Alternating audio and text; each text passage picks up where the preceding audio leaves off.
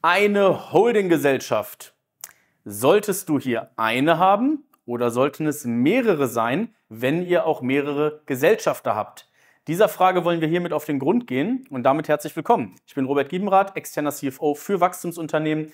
Ich habe schon sehr viele Unternehmen mit einer Holding verhaftet bzw. bei der Einführung einer Holding unterstützt und möchte jetzt hier etwas zu sagen, weil ich diesen Fehler, einer dieser beiden Fehler, schon sehr, sehr oft gesehen habe und äh, den ich hiermit ein für alle Mal ausmerzen möchte.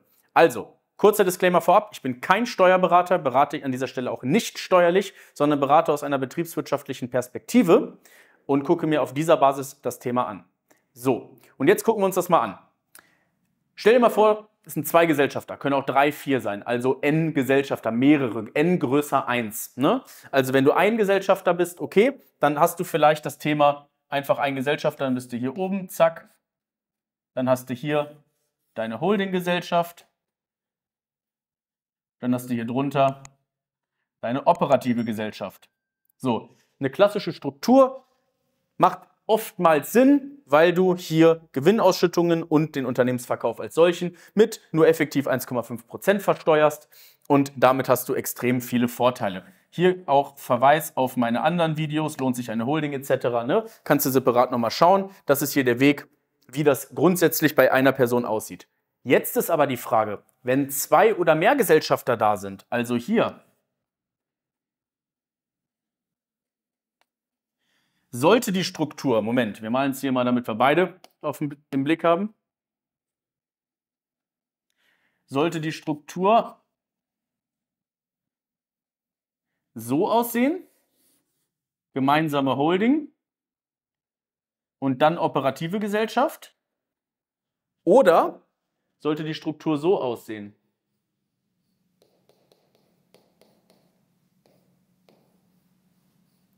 Dass jeder eine Holding hat und die Holdings dann gemeinsam in der operativen Gesellschaft beteiligt sind.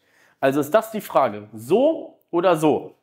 Was spricht für das eine, was spricht für das andere? Wenn ich hier mir das angucke, oftmals auch hier oben, kann ja auch sein Liebespaar Ehepaar oder beste Freunde seit Sandkastenkindheit oder was auch immer. Ne? Man vertraut sich, man ist Geschwister.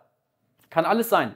Und dann ist man hier zum Beispiel, sagt man, ja, Mensch, ist ja logisch. Wir haben hier unser Vermögen zusammen, wir investieren hier zusammen, ne? wir haben hier die Firma zusammen und das macht der Sinn. Steuerberater hat uns gesagt, ich soll eine Holding gründen. Das kann immer der Fall sein. Wenn du die Holding hast, auch einmalige Gründungskosten, nur einmal die Verwaltungskosten und hier hast du ja doppelte Kosten. Ne? Musst hierfür zahlen Jahresabschluss, dafür Jahresabschluss, hierfür Gründungskosten, dafür Gründungskosten. Also spricht kostenseitig bei der Einrichtung, der Errichtung und der Verwaltung ja erstmal alles für grundsätzlich diese Struktur. So, das kann man so sehen. Jetzt ist allerdings mein Appell dahinter, dass es absolut dumm das sollte man auf gar keinen Fall machen, dass man als Gesellschafter zusammen eine Holding hat. Ausschließlich, wenn man dazwischen oder darüber nochmal jeder eine Holding hat, dann darf man auch eine zusammen haben.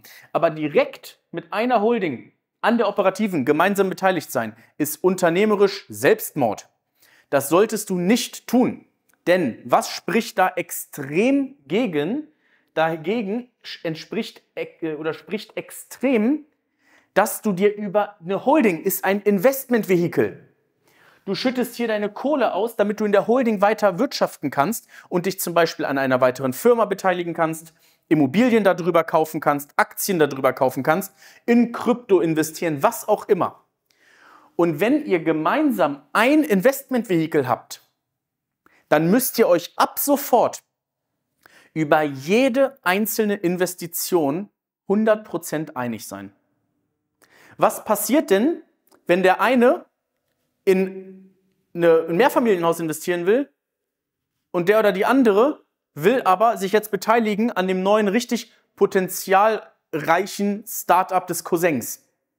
Dann kommt ihr nicht übereinander und sind 100.000 Euro nur drin.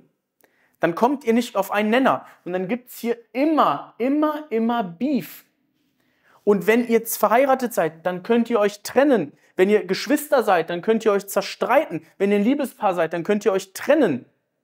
Das ist immer möglich. Und wenn ihr euch trennt, dann ist hier Polen offen. Dann ist es hier extrem stressig, auch das hier auseinander zu bekommen.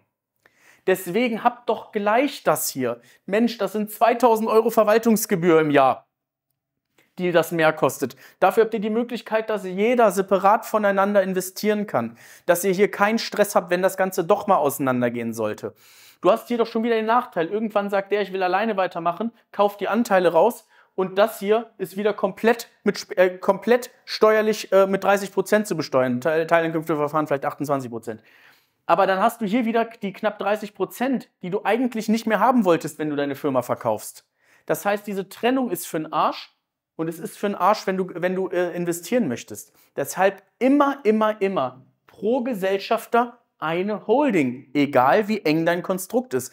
Das ist meine Praxiserfahrung. Ich habe es sehr oft gesehen, dass dieser Fall hier eingetreten ist. Das tut weh, das ist unangenehm und das wäre verhindert worden, wenn das Konstrukt vorher so ist. Vielleicht kriegst du irgendwo einen anderen Rat. Das ist meine persönliche Meinung. Ich habe es in der Praxis sehr oft gesehen, gerade bei Wachstumsunternehmen in einem volatilen Markt unbedingt das hier tun. Das ist meine absolute Empfehlung aus der Praxisbrille heraus. Wenn du dazu weitere Fragen hast, wann eine Holding für dich Sinn macht, ob die für dich Sinn macht, wie du da investieren kannst, wie du genug Kohle in die Holding bekommst, wie du dich liquiditätsseitig aufstellen solltest, damit die Holding geflutet werden kann, damit du hier einfach ein extrem vermögender Dude wirst, dann melde dich gerne www.rg-finance.de. Wir bringen deine Zahlen in den Griff. Wir sorgen dafür, dass du sehr vermögend wirst und dann können wir dazu bald schon miteinander sprechen. Ich hoffe, das Video hat dir gefallen. Wenn dem so ist, gerne einen Daumen hoch. Ansonsten sehen wir uns in einem nächsten Video wieder.